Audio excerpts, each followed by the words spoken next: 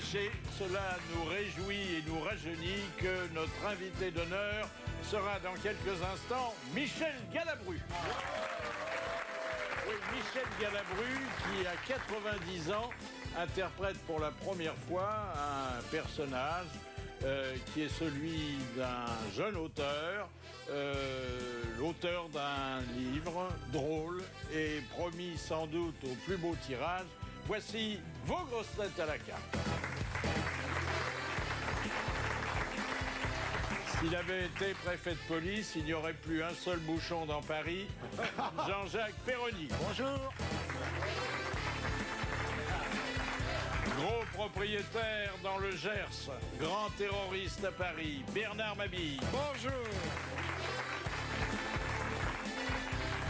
Il est la mémoire vivante et frétillante du 7e art, Vincent Perrault. Bonjour. Les filles qui lui ont passé la main dans les cheveux sont toutes reparties avec une poignée qui n'était pas celle de la porte. Philippe Chevalier. Bonjour. Au théâtre, il a interprété moins de prix Nobel que d'idiots de village, Jacques Bellutin. Bonjour. Vous m'en voulez pas pour les cheveux, hein, monsieur? Oh, bah non, Philippe. Non, non, mais il m'en reste encore quelques-uns. Oui, bah, quand, quand il n'y en aura plus du tout, on n'en parlera plus. quoi. Non, mais j'ai de, la... j'ai de la réserve un peu plus bas. Ah, qu'on fait des greffes à bas prix Oui, on fait maintenant. Alors, euh, ah bah tu vas être crépu ah alors. oui, en Valois. Alors, Oui, au nom du on va le voir, principe oui. de précaution, euh, bah, on n'arrête pas de nous prodiguer euh, force conseils. Et alors, des conseils les plus inattendus, et quelquefois des conseils scientifiques et médicaux. Par exemple, euh, il ne faut pas s'empêcher de s'éternuer. Ah non. Ah, oui, très, Bah très, très, c'est très On peut mauvais. y laisser ses tympans. Ah Oui, c'est très très bon. C'est une petite jouissance, donc. Ah comme, bah, euh, on appelle ça l'orgasme du Voilà, pauvre, voilà, l'éternuement. Mais on dit Ah aussi oui, la oui. petite La mort. petite mort, j'ai entendu ça aussi. Alors, l'orgasme du pauvre, parce que bon, ça peut procurer à certains un petit plaisir qui ne s'offre plus par ailleurs. Et euh, l'autre euh, appellation, euh, la petite mort, vient du fait que, d'après ce que disent les scientifiques, toutes les fonctions vitales sont interrompues. Ça, Mais oui. pendant quelques secondes seulement. Hein. Restons sur l'orgasme plutôt alors. Oui, oui. Moi, quand une fille me pose un lapin, j'achète du poivre et j'éternue deux, trois fois. Et euh, Et puis, bien avancé. ça me coûte moins cher. et puis euh, on en a profité pour euh, codifier l'éternuement. Par exemple, sa, sa vitesse. Bon, euh, C'est terrible comme vitesse. il paraît. 160 km à l'heure. C'est incroyable, hein Même pour un tout petit glavio. hein. C'est comme le sperme du Vera. Ah oui, il va si vite que Ça ça. va, ça va aussi Ah oui. vite, oui. Ah, non. Ah Oui, ouais. non. Tu l'as mesuré, toi? Non mais j'ai lu un truc Ah, là-dessus, ouais. ça m'intéresse. Ah oui. Ah, mais ça m'étonne pas que ça t'intéresse, le sperme du Vera. Ah oui. Je vois pas qui d'autre ça c'est- peut intéresser. Mais il a des lectures. hein, oui. ça peut intéresser d'autres. C'est surtout extrêmement rigolo la façon dont parfois les gens éternuent. Vous savez, Ah il y a des- des- Quand parfois ça arrive des- dans des ton petits Ça, ça Oui. dénote de la personnalité. Ah ou oui. alors un cas. Oui. Oh, pardon. Alors, quelquefois, là, oui, c'est- effectivement, c'est une façon de rappeler qu'on existe. hein. Ah Mais ouais. alors, quand vous éternuez euh, à côté de quelqu'un qui mange des huîtres, c'est très gênant. Ah oui. Ah bah vous avez en même temps l'impression qu'il s'est mouché. Non, non, non, mais Oui, t'éternues à côté de quelqu'un qui mangé. tu fais- Ah, ouais. Ah, ben là, il te, il te sort un belon triple zéro. là, c'est- Tu frottes sur le veston et tu dis excuse-moi, t'en as encore un gros bout sur l'épaule. Arrête, Jean-Jacques. Ah, mais ça fait partie du comique physiologique. Évidemment. Et puis alors une autre recommandation. Alors celle-là, elle est, elle est, elle est euh, plus subtile et, et peut-être qu'elle va modifier davantage que l'autre votre vie privée. Euh, il ne faudrait pas parler pendant l'amour. Voilà.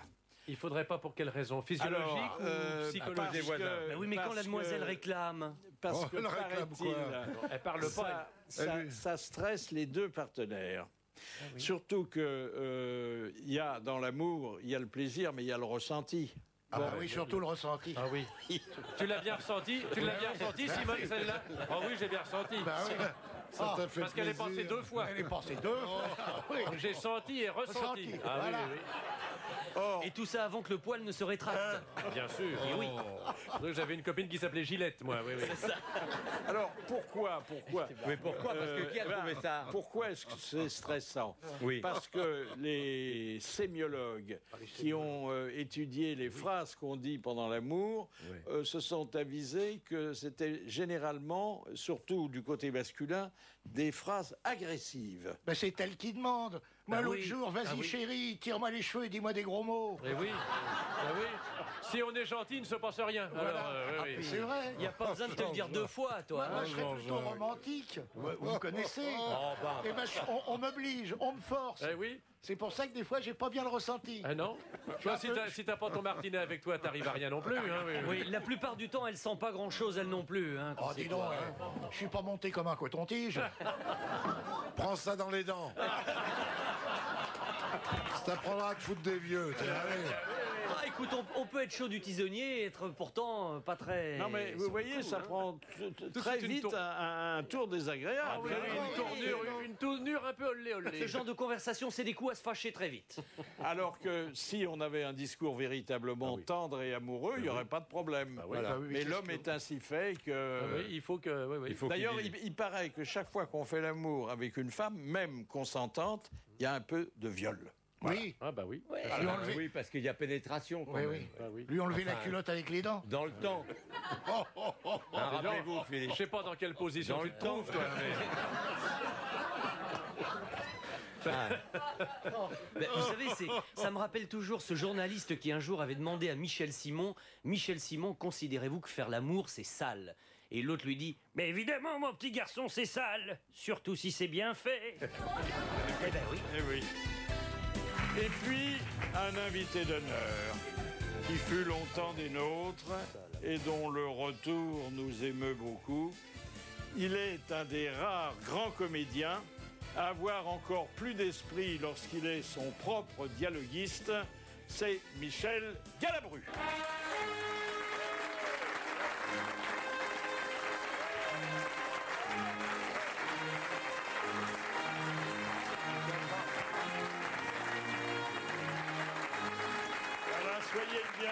Cher Michel Galabru, et, soyez remercié pour euh, publier euh, ce livre. Euh, mais c'est le premier livre que vous publiez? Mais non, mais non. C'est le troisième ou quatrième, attention.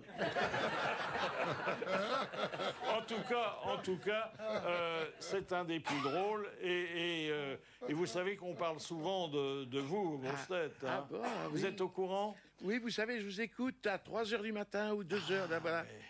Je me mets dans mon lit avec ma radio et je vous écoute. Alors, on parle de vous et on évoque vos bons mots. Alors, on croyait tout connaître de vous, et puis dans ce nouveau livre qui paraît, on en a découvert de nouveaux. On a découvert des histoires incroyables avec euh, d'autres gloires du cinéma et du théâtre. Bref, on a passé un bon moment. Alors, on va essayer d'en dire euh, davantage à vos futurs lecteurs. Parce que c'est un autre métier que vous entreprenez maintenant. Il ne s'agit plus d'aller chercher des, des spectateurs, mais des lecteurs. hein. Ah oui, c'est plus difficile. hein. Ah oui, ah oui. C'est beaucoup plus difficile. Non, c'est pas plus difficile parce que euh, ils vont bien rire. Et puis ils en porteront un souvenir. Ils auront votre photo. euh, Ah oui, bon, ils vont elle date de quand ça, cette photo? Les pauvres, oui, ah oui, ah oui. Remarquez, ils l'ont fait un, un peu étroite pour pas tout montrer. Est-ce que vous avez l'impression que le, le senior est aujourd'hui euh, à la mode, beaucoup plus qu'avant? C'est-à-dire que, oui, forcément, puisqu'il y en a davantage. Oui. C'est les progrès de la médecine de- qui fait qu'il y en a beaucoup plus. Mais, mais, mais, mais, on commence à, à vous fêter à partir de 90 ans. Je dis, tiens, il est encore là. C'est donc euh, une publicité pour vous. Je me rappelle, vous savez comment il s'appelait, je me rappelle plus, euh, ce grand comédien. euh, il, il ne mourrait jamais. Donc on parlait de plus en plus de lui. C'est-à-dire quand est-ce qu'il va mourir quoi, Charles Vanel. Voilà. voilà. voilà. Voilà. Je- je- je- avec l'âge, moi, les, les noms propres, c'est foutu. Charles Vanel. On parlait tout le temps de lui. Ouais, Il- c'est Dès qu'il arrivait sur scène, on l'acclamait. Il n'avait rien fait. il vivait. C'est un exploit. Et puis un jour, il est mort. Il est, eh oui, il est c'est mort, fatal, oui. C'est. Eh c'est oui. ça, eh oui. À un moment donné, il n'y a rien à faire. Est-ce que, est-ce que vous avez accepté l'idée de, de- de ce livre parce que c'était votre petite fille euh, qui vous l'avait proposé? Ben, ma petite fille, oui, parce que euh, elle avait écrit un livre déjà euh, à 17 ans, 18 ans, et j'étais euh, vraiment surpris par la, qualité de l'écriture. Alors, le thème euh, n'était pas vendeur, c'est une histoire sentimentale qui se passait je ne sais où, aux Indes ou truc. bon. Mais j'avais remarqué l'écriture surtout. et elle, alors, a, elle a fait de bonnes études, hein ah, euh, ouh, attention. Vous savez, dans un mois, un, mois- un mois et demi, elle passe l'agrégation. Oh là là. Elle a 22 ans. Oh là là. Moi, à ce moment-là, je passais à peine mon bac. Oui, parce que sa petite fille, je voulais pas le dire, sa petite fille est anormale. Voilà. C'est normal. Ah oui. Anormale supérieure. oui, bien sûr. Oui. Non, il n'y est plus. Elle, est-. Ouais. Elle est Attendez, partie. Elle a été reçue à normal supérieur. Elle est partie. Son père était fou. Et maintenant, elle est, elle est, elle est, elle est, elle est euh, sur le point, devant tête, comme on dit en latin, d'être, euh, d'être agrégée de philo. Ouais. Quand même. Et- Est-ce qu'il n'y a pas des... Les enfants, ah, oui. un, nous qui Alors là, n'avons oui. jamais vécu que de, de plaisanterie. Et d'expédient. Hein Et Est-ce qu'il n'y a d'expédient. pas- est-ce qu'il n'y a pas des histoires un peu lestes que vous avez hésité à raconter à votre petite fille? Oh non, parce qu'elle est très intelligente, elle se marre. hein. Là, là, j'ai ça. Vraiment, là, de ce côté-là, il risque rien, non. Alors, depuis votre dernière euh, séance chez nous, oh, ça fait quoi 4-5 ans, hein? C'est pas, oui. Ah oui. Alors, beaucoup de choses ont changé, sinon votre serviteur. Euh, il y a aujourd'hui un côté complètement aléatoire dans les grosses têtes. On ne sait pas comment ça va se passer et comment on va traiter l'invité d'honneur. On va vous soumettre le menu. Alors, qu'est-ce que c'est que ça? Garde à oui? Bravo. Shake-up médical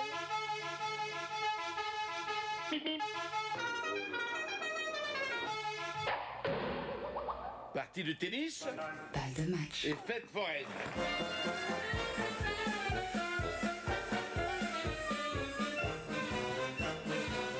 Alors, qu'est-ce que vous choisissez?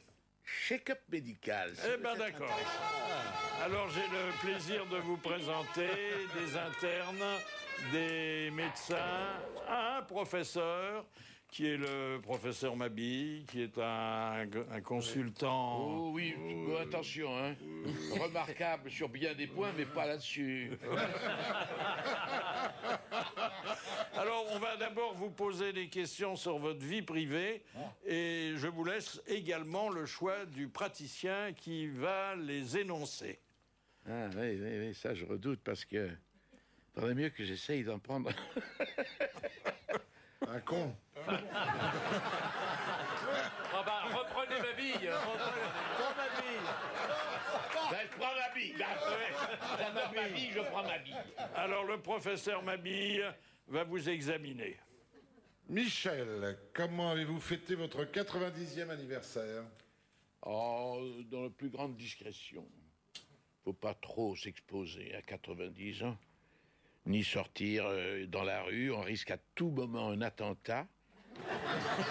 Au meurtre. Au meurtre. Au meurtre, au meurtre, oui. Euh, c'est- c'est- j'avais- autrefois, j'avais un chien qui m'a défendu dans une occasion, mais là, j'ai il est mort. Chez vous. Ah oui, je reste moi. Oui. Et le, combien il y avait de bougies? Ah, pour me moi, à 90, là? Oui. Je sais pas ce qu'il... Faut pas le dire, je me rappelle plus quand ils m'ont Ouais. fêté ça. euh. Parce que comme le Luron disait, quand euh, les bougies coûtent plus cher que le gâteau, euh, Je connais ça, oui. on est Et- tenté d'en mettre une seule avec dessus 90. C'est pas possible. Ils vous mettent une vieille bougie et cuite, quoi, oui. Il faut les canadaires pour les éteindre. hein. Michel, Michel, qu'est-ce qui vous a décidé? Ah ben je savais pas ça, à vous marier et à devenir encore papa alors que vous étiez déjà septuagénaire. Ah, j'étais pas septuagénaire, il faut pas non plus enfoncer le bonhomme à n'étais pas septuagénaire. Bah, c'est ce qui est marqué sur ma fiche. Mais c'est une erreur Ah, septuagénaire, on m'aurait pas accepté Ma pauvre femme, elle aurait pas... Elle a eu déjà du mérite euh, de me prendre. euh. Non, pas septuagénaire. À quel âge pas, vous aviez à votre Mais second Là, j'ai mariage 90 ans. Oui, mais le second mariage. Second mariage, attendez que je réfléchisse, c'était en 80... 80 j'ai- Ah non, oui, 50 ans. 50 ans. Ah, bah, c'est tout jeune. 50 ans. Ah bah oui, oui, 50 ans. septuagénaire. Tout jeune. 50 ans. Je suis marié vers 90, 80. Qu'est-ce que là j'avais à ce moment-là? Euh, Je me rappelle plus. hein. Vous savez qu'il y a des jours où on se dit merde, mais j'ai pas 90 ans. Et vous regardez la date et vous avez 90 ans. Ah ouais, ouais, alors C'est que- très curieux tout Qu'est-ce ça. que hein. ça vous a fait de devenir encore papa alors que vous étiez quinquagénaire? Oui, c'est quinca ou le quinca, voilà. Quinca, oui, quinca. Pas, pas Bah oui, quincailler, on- on- hein, quinquagénaire. Quinca, oui. Non, mais attendez, le- votre euh, dernier mariage remonte pas à 50 ans. Mais le plus- Non, vous mais me il avait demandez- 50 ans. Il Il à 40. 50 ans par là, oui. Oui, par là. Il y a combien de temps que vous êtes marié Bah, par là. Bah, par là. Par là J'ai j'ai fait 30 ans. J'ai fait C'était pas 30 loin ans. d'ici. 30 ans avec la première Oui. et j'ai fait 30 ans avec la seconde. Ah bah Ça alors. fait 60. Ah bah, Ça fait 60. Ah bah, on n'est pas loin de j'ai- 7 ans. Donc j'ai débuté oui. vers 30 ans. Bah oui. Oui. Euh, Ce qui est fait tard, 90. Voilà. Ça va Voilà. quoi. 3 et 6, 9, 3 et 6, 9. Ça fait un contron. Ça fait un contron. C'est ça. Et- et- Vous avez un voisin rond à côté de vous, mais... Mais ça va, hein Bah du coup, Michel, 3, 6, 9, il va falloir songer à divorcer, à se remarier là maintenant, Ah oui, hein, mais pour là, les 30 là, oui, mais là, c'est plus difficile, on ne me veut plus. Ça, c'est très net. Hein. Elles acceptent beaucoup de choses, les femmes, Oui, ah oui, dans la décrépitude d'un bonhomme quand il a de l'argent. Mais il y a des limites. Oh, quand elles sont meublées en ancien, Ah oui. Non, non, j'aurais droit à une vieille dame, mais ça ne m'intéresse pas. Vous comprenez ce que je veux dire? Ah, tout à fait. Comme ça, on comprend tous, oui.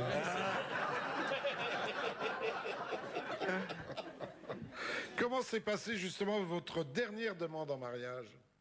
Ah oui, ma dernière. Ah mais j'ai pas fait de demande. J'ai pas fait de demande. Voilà, je vais vous dire une chose. euh, J'espère que c'est très délicat ce que vous me demandez parce que il y a tout un côté obscur chez moi euh, qui est difficile de dévoiler parce que j'ai des proches. Disent qu'est-ce que tu as raconté? Vous comprenez? C'est très gentil votre petite histoire, mais vous m'embarquez vers des.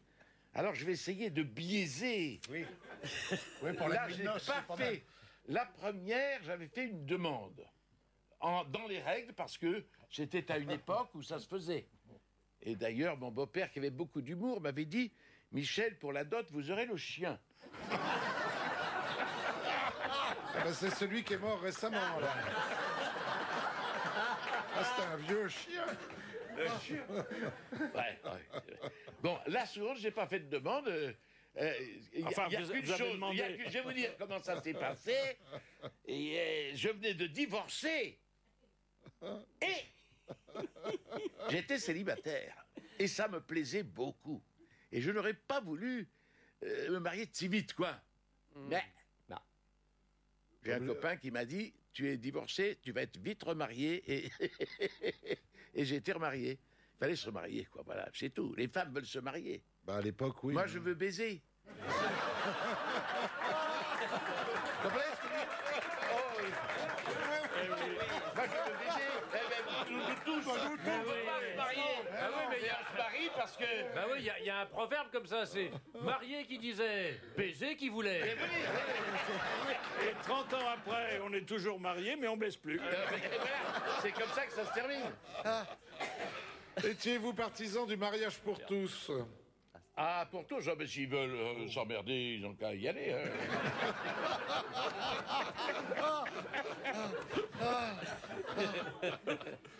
De quoi vit votre grand garçon qui a refusé de passer à côté de sa vie en la gagnant Qu'est-ce que c'est que cette formule c'est- Je ne peux pas vous dire non plus. Mais qu'est-ce qu'il y a hein? Attendez, vous avez, vous avez un garçon qui euh, vit sa vie. Oui. Bon. Qui vit sa vie, ça veut dire quoi? Qui fait pas grand-chose. Non, il y en a un qui est un, d'ailleurs euh, qui est remarquable comme intelligence et, co- et comme cœur aussi, ce qui n'est pas négligeable. Et celui-là, en montant l'avenue Wagram, je lui ai dit tu sais, quand même, euh, il faudrait songer à faire quelque chose parce que tu peux te marier. Il m'a dit, je ne veux pas me marier. Tu peux avoir des enfants. Il dit, je ne veux pas d'enfants. Et à la moitié de la vue Wagram, il m'a dit, papa, je ne veux rien faire. J'ai trouvé ça sublime parce que c'est le rêve de beaucoup de gens. Et, et depuis, il ne fait rien. Voilà.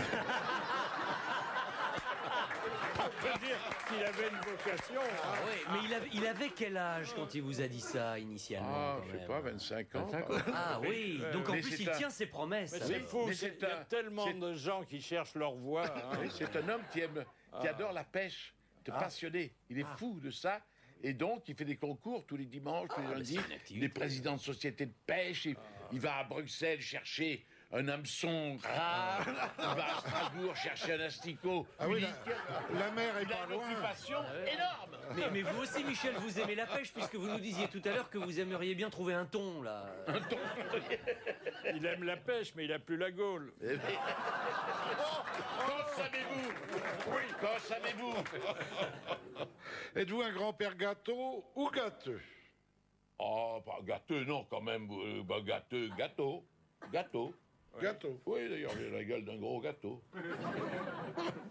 Observez-vous une discipline de vie, une hygiène alimentaire, Michel? Ah, je fais attention. Je fais attention parce que. Parce qu'il faut faire attention. Et. Alors, mais. On se gourre. Alors, on vous a dit, ça fait longtemps qu'on vous dit 5 fruits, 5 légumes. hein. Ah oui, oui, oui. Et, et je suis allé voir un spécialiste qui m'a dit plus pas de fruits, monsieur. À, à cause du, du- à cause de quoi Mais j'avais un truc euh, à- au colon Ah oui. et on Antifruits. m'a dit euh, pas de fruits, Pas de- pas de fruits, Ah bah non, avec le pas colon. de légumes. Oh là. Ah oui. Voilà. Que Non, des il- lasagnes. Il reste quoi Ah, la viande, Euh, la pâtes, viande. il reste les pâtes, Les pâtes, féculents, le riz. il reste les pommes de terre, le riz, Le Très riz, bon, les le riz, féculents. le riz. Et voilà, voilà mes enfants. Bah oui. Donc, Très bien comme ça. et, et on vit très bien comme ça, si vous voulez. Alors, euh, vous avez recommencé quand même. J'ai arrêté. Ah, arrêtez, bon. Là, vous êtes baisé, j'ai arrêté. Oui. On va être baisé par Michel Galabru, il y a pire, hein Arrête.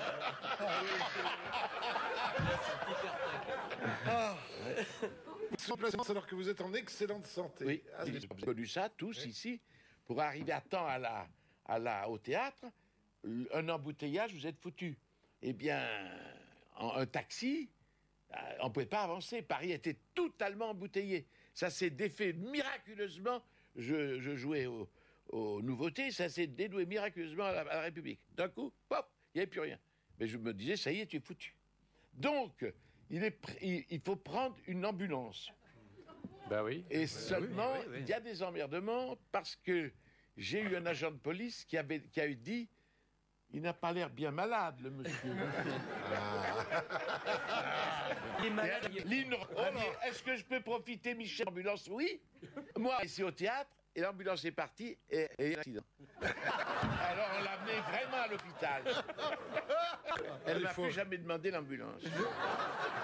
C'est frais de la Sécu, alors? Comment? C'est aux frais de la Sécu, non. Ah non, se paye. non, non. Ils mettent le gyrophare, alors. Oui, oui, il faut. Et enfin, qu'a répondu Jean à nous Il y a Jean-Pierre Mariel qui lui disait que le texte le chier. Marielle, vous savez, Jean-Pierre Marielle, c'est grave comme bien. Alors ça, il a une- il dit les quatre vérités aux gens, ils se gênent pas. Vous savez, il y a des gens comme ça. Moi, je peux, je biaise, je peux- Ah ben on a vu tout à l'heure vous biez. Et alors, c'est très curieux, peut-être, parce que mon père était un type, comme ça, c'était net, entier, non, c'est non. Ma mère, donc, mère était obligée de biaiser. De baiser, bien entendu, mais de biaiser. Et moi, et mon, petit, mon frère, qui est plus jeune que moi, est comme mon père.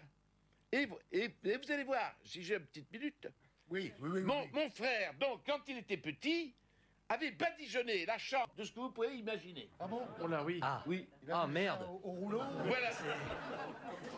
De la Et confiture. je- on s'est dit, quand mon père va arriver, ça va être terrible. Ça va être la merde. faire, parce que mon père était très autoritaire et sévère, comme à l'époque. Et mon frère s'est planté devant lui, et il avait son langage de bébé, il a dit, bébé, feuilla encore. Et à partir de là, mon père est tombé dans l'admiration. Tandis que moi, je. Vous voyez? Parce qu'il lui avait tenu tête. Ah, Voilà. Et Et, j'ai compris qu'à partir de là, il, a- il avait, il avait gagné. En- mon père n'a pas voulu me donner l'auto quand j'étais jeune. Il a donné à mon frère. Ah oui. Oui, mais Et à alors- 40 ans, je vais y venir au sujet Oui, oui, fatal. oui, À 40 ans, il est pressé, Père Il a Roddy, parce qu'il a ah, soif, il veut aller au bistrot. décidément, ah, tu, tu traites bien tes voitures maintenant. Il m'a dit j'avais 40 et 50. Alors, Ah oui, que- oui. Anouilh et Anouilh, Marielle. Ah, Anouilh et Marielle. Alors Marielle était donc un type comme ça. Alors, Parce que dit, bon, était un grand auteur, il fallait oser quand on faisait partie d'une Bah de ses distributions. Hein. alors il a dit, et puis vous me faites chier avec votre texte. Je me suis dit, oh là là là là là là ça part mal. Et alors Anouilh, il a dit, eh bien écoutez, Marielle, finissez, reculottez-vous et revenez-nous vite. Et le Marielle, il a été scié. Il est devenu un petit agneau. C'est drôle. Reculez-vous. J'ai fini, Philippe. Bien, merci, monsieur le professeur Mabi. Maintenant, maintenant, il va falloir euh, bah, vous poser des, des questions professionnelles. Alors, vous avez le choix entre les quatre médecins restants. Mon petit balutin, puisque je te ah, retrouve. bah oui. Ah, balutin, c'est. Vous avez dû en faire tous les deux. des- Ah, pas des hein. masses, pas des- On a joué au théâtre qu'une seule, euh, deux fois. On Oui. a joué à la Madeleine et on a joué en tournée euh, d'été avec euh, un faisceau d'ailleurs avec Michel. Alors, euh, Balutin, qui est médecin de campagne, généraliste, mais très, très bon, très dévoué. Hein. Ouais. Avez-vous été déçu que le métier de comédien que vous aviez choisi par paresse exige autant de travail? Eh oui, oui, très déçu, oui. Parce que vous pensiez qu'on se tournait les Ah pouces non, toute la mais journée. atroce parce que je suis rentré à la Comédie Française et, et pensionnaire et oh, le, le- le mois à 30 jours, hein, ou 31, mais là, c'était, je jouais 40-45 fois. On m'habillait, euh, on me déshabillait dans un taxi, on me rhabillait et on me parce qu'il y avait deux salles et j'allais jouer un autre rôle là, là, là. Il fallait apprendre tout ça et tous les jours, c'est pas le même texte. Lundi, on jouait un peu le truc du bourgeois gentilhomme. Le mardi, c'était euh, un marivaux. Le mercredi, c'était Madame Sans-Gêne. Le truc. Vous voyez, c'est ça. Et tout le temps. Et apprenez-moi ça en quatre jours parce que il y a un type qui était tombé malade. J'ai appris le conte d'hiver, le rôle d'Autolycus, qui comporte 600 lignes et cinq chansons en quatre jours. Oh là là. Faites ça pour la maison. J'en étais malade. Ah oui. Alors, et puis après, ça a été la télévision en direct. Ah oui. Vous savez, ça faisait, je me rappelle encore, tu as connu ça? Oui, j'ai connu. C'est à mourir. On dit 6, 7, disait, c'est le journal parlé, fini. 6, 5, 4. Et je regarde, il y avait Paul Guers devant moi, sa jambe tremblait comme ça. Et les- même les, les gens qui connaissent les caméras aussi tremblaient parce qu'il fallait en deux jours qu'ils absorbent toute la technique. 6, 5, 4, 3, 2, partez Moi, j'avais écrit mon texte dans mon chapeau. j'avais- C'était terrible, terrible. Ah, c'était pas de la tarte. Pourquoi continuer à travailler alors que plus jeune que vous de 4 ans, Benoît XVI vient de rendre son tablier? C'est vrai? Ah oui, parce que je crois que il a été. Je crois que peut-être il ne comprend plus. Il ne croit plus, à mon avis. Il a capitulé. Il a capitulé devant tant d'ingratitude de Dieu qui nous met dans la merde continuellement. Il a capitulé. Vous avez imaginé pourquoi Je ne veux heurter personne, mais quand même. Je suis dans une période de, de rébellion. Pourquoi faire une très belle femme et après la pourrir, la riduler, la vieillir jusqu'à ce qu'elle tombe dans, dans, dans la pourriture Pourquoi Pourquoi me, me, me, me, me faire mourir mon tonton qui était si gentil? Pourquoi Qu'est-ce qu'il lui a fait? Pourquoi la pauvre biche, pourquoi le pauvre zèbre dans la jungle se fait bouffer? Sinon, il n'y aurait pas de lion ni de tigre. La chaîne alimentaire. Et alors, surtout, pourquoi le morpion Quelle raison Quelle raison de créer le morpion qui est un faux d'herche, qui vous trahit, qui n'a aucune raison d'être sur Terre et qui s'agrippe à vous. On ne comprend pas. On comprend les belles choses, on se dit c'est merveilleux. Mais pourquoi cette... Vous savez qu'il y a une fleur qui est très belle, qui attend l'insecte, et quand l'insecte est rentré, il se referme. Pourquoi cette méchanceté? Moi, si j'étais Dieu, on m'a fait chanter, quand j'étais petit, le voici l'agneau si doux. Je l'ai sur l'estomac. Moi, si j'étais Dieu infiniment bon, je prendrais tout le monde et je dirais, allez, tout le monde au paradis. J'enculerai pas les mouches avec toutes ces histoires de péchés, de trucs qui sont incompréhensibles. Vous le comprenez, ça? Ah oui. Hein Vous êtes de mon avis. Évidemment. Eh oui. Pourquoi? Pourquoi le sida? Pourquoi euh, la tuberculose? Pourquoi la peste? La peste! Qui, a- qui, au Moyen Âge, tuait des millions. Les gens euh, fuyaient les villes. Et pas de pitié. À, à aucun moment. À aucun moment, il s'est dit, les pauvres gens, il ne l'a jamais fait. Alors, bon, inclinons-nous tous, comme dit la chanson. Mais quand même, c'est quand même une question. Est-ce que le pape ne s'est pas dit non, je n'en peux plus de tous ces péchés du monde et je m'en vais? Alors, la prochaine question, alors, je te dis Ça pas. sera mon, mon dernier prêche. Non, mais c'est sublime. Alors, alors là, ma question, je vais dire, elle est complètement, elle est complètement inutile. Êtes-vous toujours à l'affût de nouvelles propositions? Ah oui, ah ben oui, et c'est de nouveaux contrats. C'est- Hein? Oui. Après ce que tu viens de faire, ma question est complètement con. Non. Êtes-vous du toujours tout, à l'affût de nouvelles que- propositions et de nouveaux contrats. Mais bien entendu. Mais oui Mais bien entendu. C'est stupide. En fait, tu es comédien, tu attends toi aussi. Absolument. On attend comme les putes derrière le téléphone. Qui ne sonnent pas. Alors Absolument. On n'a plus de rôle, on est vieux, il y a quelques vieux de temps en temps. Quand même. Pourquoi n'avez-vous pas joué la femme du boulanger du vivant de Marcel Pagnol? Parce que. Parce que j'ai quand même un sens des réalités. Je connaissais Rému parce que l'avais souvent vu par, au téléphone. Au, cinéma, au théâtre. Et je me je ne sentais pas capable de jouer ce rôle qui avait été joué parfaitement. Il n'y avait rien à, toucher. C'est comme refaire un Rembrandt. Il n'y a rien à faire. Et je le lui ai dit. Me, il me reçoit. Je me rappelle, il avait une espèce de, de- de veste d'intérieur. Et comme on faisait Galabru. Il fait Ah Il fait Ça m'a plu, ça. Il fait Ah Remarquez, il faisait ça à tout le monde. Ah Et il me dit C'est pour. euh, il voulait monter la femme du boulanger au théâtre parce que c'était un film, ça n'avait été jamais joué au théâtre. Il voulait donc créer ça au théâtre. Je lui ai dit Écoutez, monsieur Pagnol, moi, je vais vous dire une chose, n'est-ce pas? Vous avez travaillé avec Rému, vous l'avez vu. Vous allez être déçu. Ça va être. Ça va, ça va pas, pas vous plaire. C'est pas possible. Je suis l'orteil de Rému. Et il m'a dit Vous avez raison.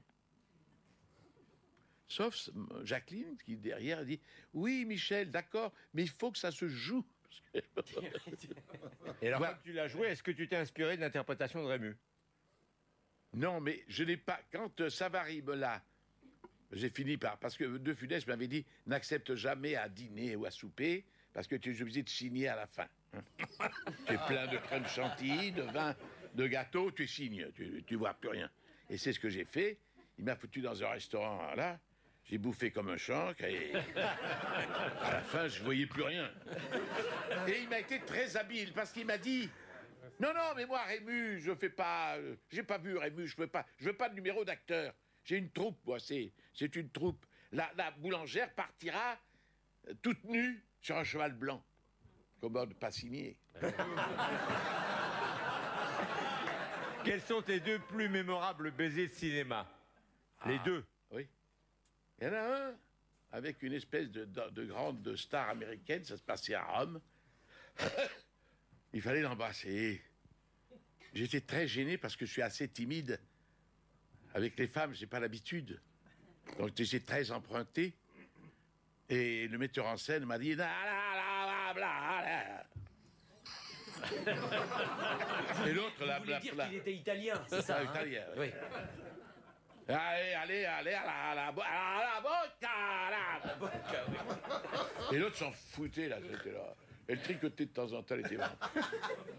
Et alors, il a fallu que je l'embrasse sur la bouche, quoi. Et alors, euh, et, il m'a la lingue, la lingue C'était presque un porno. hein. Et bon, alors la langue, l'autre s'en foutait toujours. Et je sens quelque chose qui bouge. Je me dis, merde Je lui, je lui- c'est une dent. Oh là là, il va falloir qu'elle aille chez le dentiste, ça va me coûter.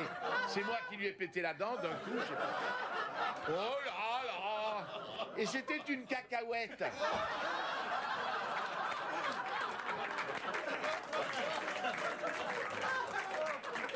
Vous dites dans le film, d'ailleurs, dans le, vous dites dans le bouquin que vous en avez tiré un enseignement. Plus de baisers après l'apéro. Après l'apéro, alors. Michel, Michel, dans, dans quelques messieurs trop tranquilles de Lautner, vous embrassez des jolies filles sur les fesses. Moi, je m'en souviens oui. très bien. Très, très bien. Oui, oui, oui, oui. Et on a l'impression que vous prenez le rôle à cœur.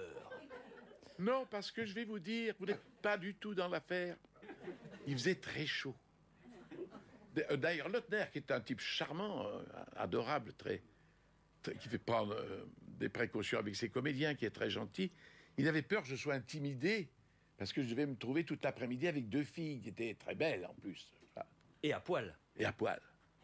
Euh. Et alors, il n'avait pas complètement tort, parce qu'on est intimidé, hein, on n'est pas- plus malin que les autres. Et il m'a fait bouffer avec, avec euh, elle, la, la veille. Ça, ça n'arrangeait rien, mais enfin bon. mais alors, il faisait une chaleur terrible. Et alors, il y en avait une qui avait mal à la tête, qui disait toujours qu'elle avait mal à la tête. Parle à mon cul, ma tête est malade. Oui. Oh, dis donc, Perrault Alors mal à la tête, on essayait de la, la soulager, de, je sais pas, de trouver des pilules, je sais pas quoi. Et il faisait tellement chaud que leur corps luisait. Il semblait que c'était des modes de beurre. Ce n'était plus excitant du tout. Son cul était une mode de beurre. Ça, c'est le dernier tango à Paris, ça. Il y a toujours des rasmotes. hein. Ah il fallait la trouver, ça. Quel souvenir as-tu gardé de tes scènes de lit avec Lynn Renault et Nathalie Baye? Ah oui. Oui, Lynn Renault, je la connaissais pas, c'était euh, une euh, très grande star à l'époque, euh, beaucoup plus que maintenant. Et euh, donc, euh, on- comme moi j'étais un, un petit, petit, euh, comédien, on m'avait mis préparé en pyjama dans le lit avec une, une bouillotte de glace sur la tête, j'étais censé être malade, je sais pas, et Lynn Renault devait se, se coucher avec moi. Mais elle est arrivée avec deux ou trois habilleuses, toute une suite, les photographes, tout le bordel. Et moi, j'attendais avec mon truc, là. et alors, on lui a enlevé son, son- sa robe de chambre et elle est rentrée dans le lit. Et alors, moi, j'étais, ne savais pas que faire. J'ai dit bonjour, madame, dans le lit. bonjour, madame, comme un con. Elle m'a dit bonjour, monsieur. Et C'était avant le coup de l'ambulance. Et Nathalie Baye, c'était. ah non, Nathalie Baye, ça a été très correct. Je suis rentré dans son lit, mais bon, il se passait rien. Ah, c'était dans le film avec Delon, le film Oui, de oui, Bertrand, oui, le- dans notre Delon. histoire de Bertrand Blier. Oui, notre histoire. Ça me travaillait, ça, oui. Oui, oui. Je dis que j'ai couché avec Nathalie Baye parce que ça fait bien. Mais, Mais enfin, bon. Si je me souviens bien de la scène, il y a- il y, a au moins 20 personnes autour de lit. Oui, oui, oui, oui, oui, oui. c'est ça. Oui, oui. Qui filme, qui oui. Bah, il y avait. Valérie, Valérie Mérès au théâtre. Ah, ah, Valérie Mérès, c'était différent. Valérie Mérès, c'était la femme du boulanger. Valérie Mérès, comme euh, ça varie souvent, il met ses, ses actrices à poil. Et dans la chambre, elle était toute nue. Pas pourquoi Parce que c'est un- une faute, d'ailleurs, parce que dans Pagnol, il y a marqué que. Et après, il dit Je l'ai jamais vue toute nue, ma femme. Euh, Bon, mais, là, il avait fait toute nue. Alors pendant la répétition, tous les comédiens, tout ça, elle était, belle, hein euh, était pulpeuse. hein. Alors tout le monde regardait. Et moi, toujours discret, quand même, toujours fin. je, je regardais pas pour pas la gêner. Ben, C'était un joli geste. La regardez pas. Elle s'en est aperçue. Et elle m'a dit, tu pourras regarder à la centième. Ce qui était gentil. J'ai compté. Et à un moment donné, j'ai regardé. Elle m'a dit non, c'est demain. À quel âge as-tu compris que tu ferais pas carrière de, une carrière de footballeur professionnel Oh, assez rapidement. Hein. Assez rapidement. Je, je- je- 17 ans, 17 ans, voilà. J'ai fait peur. Mer- Merci, merci, docteur Balutin. Alors maintenant, il faut euh, passer. bah, c'est la partie euh, la, plus, la plus gênante parfois, mais vous allez l'assumer parce que vous dites tout aujourd'hui plus que jamais. On va vous poser les questions qu'on n'aurait pas dû vous poser. Et qui va vous poser ces questions-là? Eh, à vous de choisir encore. Ah. Et moi? Le petit Perrault? Allons-y alors, Michel. Alors, les questions qu'on n'aurait pas dû vous poser. Ça commence comme ça. Michel Galabru, pourquoi vous a-t-on si souvent fait jouer des cocus? Ah, ben ça, c'est tout physique, hein. On a une gueule de cocu, voilà. On a une gueule de cocu. Oh, ça tient pas qu'à ça quand même. Ah, si, quand même, oui, c'est très net, c'est un emploi. C'est un emploi. un emploi de cocu. Oui, c'est ça, c'est ça, oui. Type a une gueule de cocu, c'est pas. C'est un beau jeune premier, on va pas lui donner du cocu, c'est. c'est- C'est c'est évident. J'avais une gueule de raie, un peu gros, un peu truc, c'est le cocu. Quoique, quoique, Ah. quoique. Ah Ah Oui, mais là, c'est très curieux. Parce que ça, c'est un problème.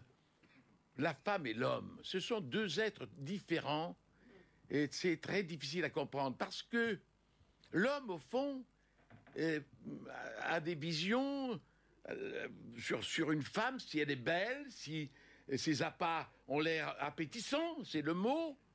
Tandis que la femme, souvent, a l'instinct de nidification. Comment faire son nid le moins mal possible? Si je prends un bellâtre, je vais être euh, trompé très rapidement.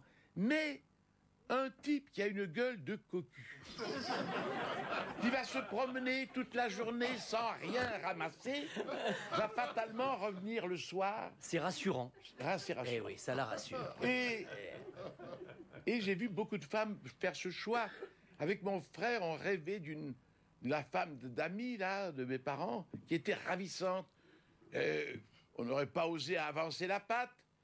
Et elle s'est mariée. Et quand on a vu la gueule du marié, on s'est dit, nom de Dieu, on a loupé. Peut-être quelque chose. Eh oui, passez à côté. Côté cinéma, est-ce qu'il vous est arrivé de tourner quelques films sans comprendre le scénario que vous étiez Ah en oui, train oui, de jouer? Oui, oui, oui, oui. Je suis pas le seul, hein, je suis pas le seul, hein, parce que c'est toujours moi, mais enfin, il y en a beaucoup. Je, quand j'ai un petit rôle, et Dieu sait, on dit la tournée de ça, j'ai tourné peut-être 200 fois, trois jours ou deux jours, hein, parce que des, rôles entiers, il n'y en a pas- eu beaucoup.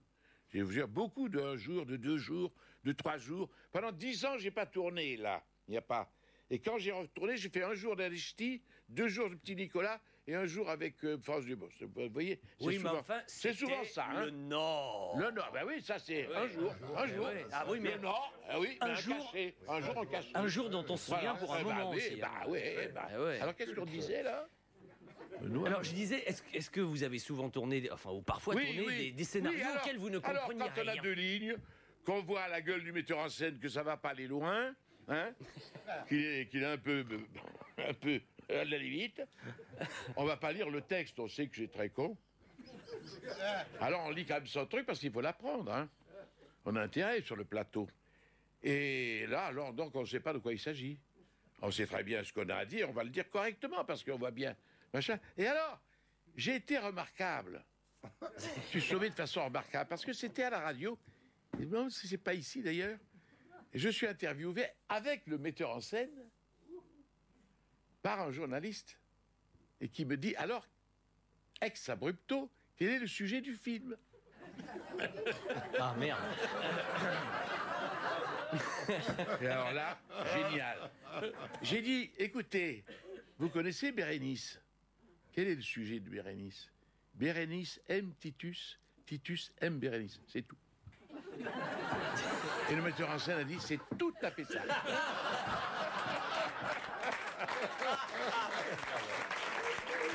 Michel Galabru ou l'art de biaiser. Hein. Bon, dites, Michel, est-ce que vous n'avez jamais de problème de voisinage quand vous apprenez les rôles à haute voix entre 11h du soir et 3h du matin? Ah oui, vous savez, tout à l'heure on parlait de la mémoire et la, la frayeur, la frayeur à, à la télévision en direct que tu as dû connaître, enfin que tous les comédiens ont connu. Et alors là, j'avais trouvé une méthode pour apprendre, c'est-à-dire que je disséquais le mot. C'est là si j'ai check-up médical, toute la nuit je vais faire chèque, chèque, chèque, chèque, chèque, chèque, chèque, chèque. Vous voyez? Hop, hop, hop, chèque, hop, hop. Je suis descendu chez moi. La femme vendait des. Elle avait une boutique de journaux. Elle m'a dit Écoutez, monsieur Galabru, toute la nuit, j'ai pas pu dormir. hein. Vous gueulez je ne sais quoi. Faites-vous enfermer, faites ce que vous voulez. Mais si j'entends une de là, je vous tue. Mais comme ça, on ne pouvait pas oublier. C'est une sécurité terrible. Ah ouais, bah dites donc. Enfin bon. Alors, parmi les rôles super marquants, il y a la gerbe. Hein, dans la série des gendarmes. On voudrait hein. tous savoir Oui. comment vous avez eu le rôle.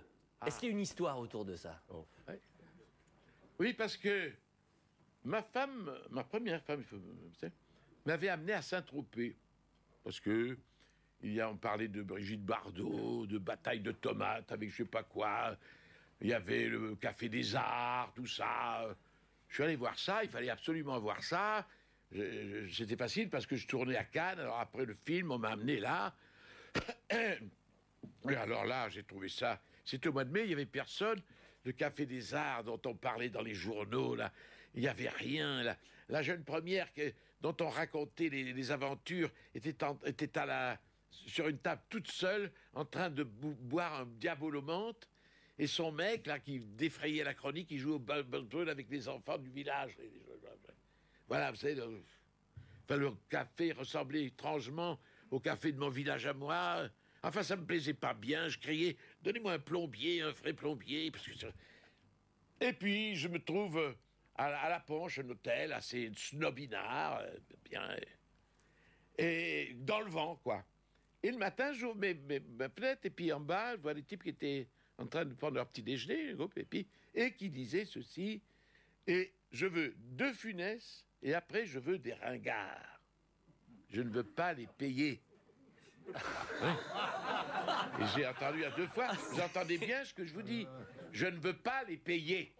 Je me tourne vers ma femme et je dis, eh ben, le type qui va tourner, il va être... Et c'était moi. Mais dites donc, vous êtes le dernier survivant de la première série. Hein. Oui, la première série, oui, peut-être, oui. Non, il y a Christian Marin. Non, il est Non, mort. ah non, il est mort. Il est mort, le pauvre. il est mort Il y a, pas longtemps. deux, trois mois. Il y a- pas longtemps. Vous n'avez pas, été averti parce que vous n'êtes pas de la famille. Mais il a disparu. Oui, oui. Oui, oui. Alors, une, une autre question de cinéma, Michel. Pourquoi est-ce qu'un autre Michel, mais Michel Simon, a refusé de vous étrangler dans le film de Jean-Pierre Mocky C'était l'Ibis Rouge, hein, je Michel crois. Simon. Ça, Michel Ouais. Simon, c'est un personnage extraordinaire. Quand je dis qu'il n'y a plus de monstres, des Rémus, des Michel Simon, il n'y en a plus, des Sacha Guitry, il n'y en a plus, des Fernandel, il n'y en a plus. Là, Michel Simon, ça a été. Moi, j'ai dit, il te, connaît sûrement pas. Mais si, il me voit, il fait. Bon. Alors, on me tournait dans une cave avec euh, Moki, son, son, son truc, là, le caméraman, là opérateur, chez opérateur, qui était charmant, très autant autant était nerveux, angoissé, autant il était là avec son truc. tu- il disait fais pas chier. on va tourner, on tourne, on tourne, tu me fais perdre du temps. Non merde pas. Et puis alors, enfin, Michel Simon descend. Michel Simon est prêt, criait Moki. Michel Simon, Moki a, a- a admiré à juste titre euh, Michel Simon. Il avait une passion, c'était très net, et, il voulait le, ménager, tout faire pour lui. Michel Simon descend, vite, vite, vite, vite, il est prêt, il est maquillé, faut pas qu'il attende. Fais pas chier, veux-tu? Et Michel Simon tourne deux scènes, deux, deux, deux, deux, ce qui est très rare parce qu'il accepté en général qu'une qu'une prise. Il tourne deux prises. Et Mocky lui dit Ah, c'est admirable. C'était admirable. Justesse, c'est extraordinaire. C'est formidable. Mais quelle prise préférez-vous La première ou la deuxième? Je les emmerde tout un qu'un.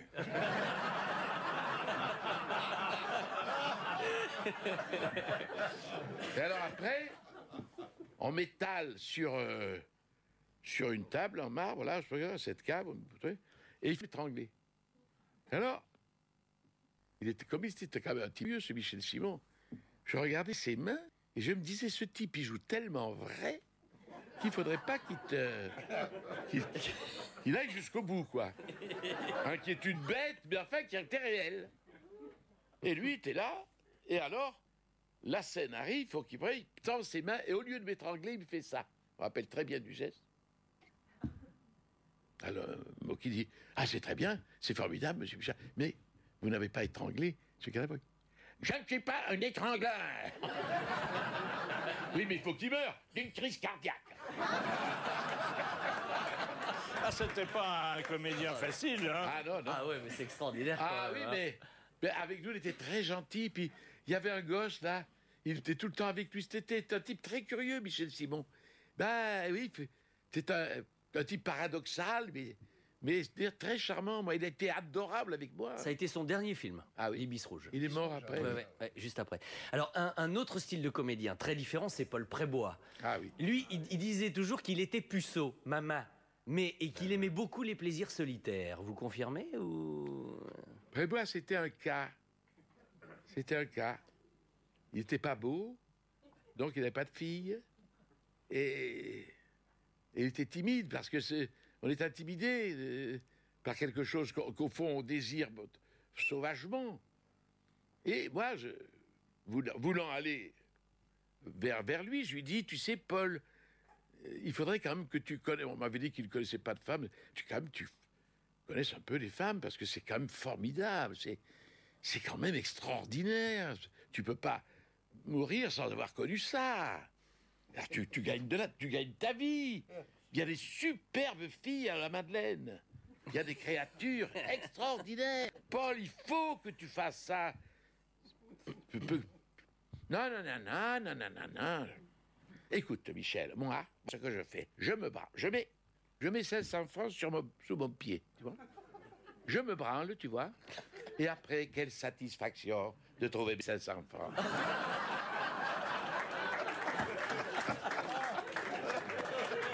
C'est extraordinaire. Une petite dernière, Philippe. Mais je pense qu'elle doit valoir son pesant d'or, celle-là. Est-ce que vous pouvez, Michel, nous raconter ce qu'a crié Jean Carmet un jour où il assistait à un spectacle, Ah oui, le, le à un spectacle Marceau. du mime Marceau Marceau Plus fort Ah,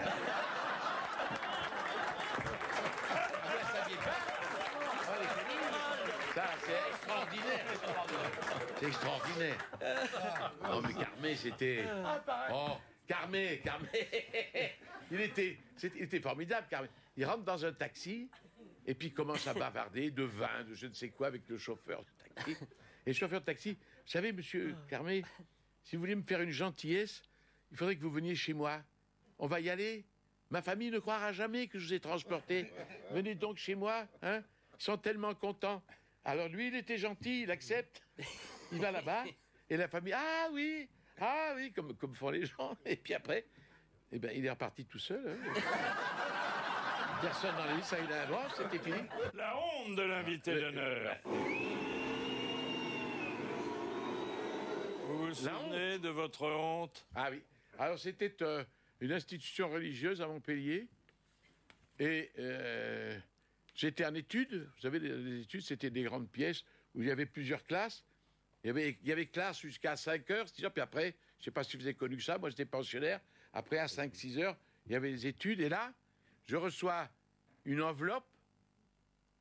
Et le type qui était derrière, qui était un type très, très, très drôle d'ailleurs, il me dit, allez, moi on m'appelait Banane là-bas, en pension. Banane, banane, banane. Oh, qu'est-ce qu'il y a? Allez, tiens. J'ouvre, c'était des poils du, du- du truc. Et il me fait, coupe-temps, coupe-temps. On peut pas faillir. Je m'en coupe. Allez, remets dans l'enveloppe, mets dans l'enveloppe, et puis l'enveloppe s'en va. Et le seul qui est chopé, c'est moi. Délit de faciès. Le grand directeur je me dis, vous êtes passé des poils de votre corps. J'ai cru que c'était mon dernier jour était arrivé. Je suis devenu blanc comme un linge. Et on m'a dit, allez chercher madame votre mère. Allez raconter à ma mère qui payait curé poil pension que je passais mon temps pour le là.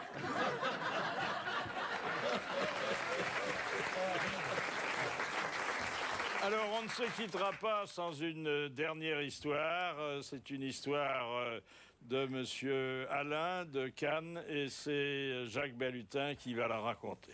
C'est un muet qui rentre dans un bureau de tabac et il met ses mains à chaque oreille en les bougeant de l'avant vers l'arrière. Alors le buraliste prend un paquet de gauloises et il lui vend. Et un client qui est là, il dit au buraliste Mais pourquoi le muet il a fait ça? Ben, Le buraliste lui dit Il a mimé les ailes du casque des Gaulois. Ça veut dire qu'il veut un paquet de gauloises. Le lendemain, le même client est là et le sourd muet entre à nouveau dans le bureau de tabac. Il met ses mains à ses oreilles en les remuant de l'avant vers l'arrière. Puis il met ses mains sur ses parties génitales, il commence à se gratter. Il mime avec ses mains comme s'il se masturbait. Alors le client tout étonné, il dit au bureau, Eh, qu'est-ce qu'il veut là? Il fait, eh ben, il veut un paquet de gauloises, un morpion et un solitaire. Cher Michel Galabru, permettez-moi de vous remettre ce diplôme que vous avez mille fois mérité, qui est le certificat d'aptitude à la plaisanterie signé par toutes les grosses têtes. Et puis un grand merci euh, pour avoir publié, avec l'aide de votre Ah, petite beaucoup. fille, ce livre qui permettra à chacun de vous retrouver sans sortir de chez lui, sans même avoir à ouvrir la télévision pour entendre vos meilleures histoires. Merci à Michel Galabru et, j'espère un autre jour avant un autre bouquin.